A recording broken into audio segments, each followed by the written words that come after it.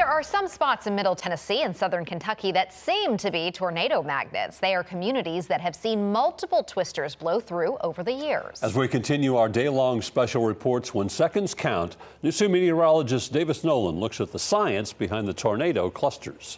Here's a look at the number of tornadoes in Tennessee by county since 1950. Now notice how high the numbers are in Davidson, Sumner, and Wilson counties at 58, 52, and 55 respectively. And the same thing goes for Shelby County and Memphis at 56. And look at Rutherford County and Murfreesboro at 45 tornadoes. Now the reason for this has little to do with meteorology. Now besides the large size of these counties, their higher populations and nowadays modern communications have a lot to do with it.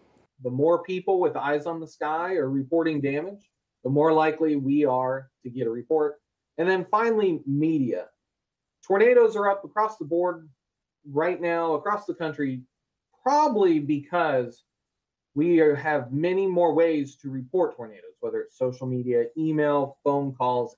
We get pictures and videos now from chasers and the public and, and our broadcast media partners.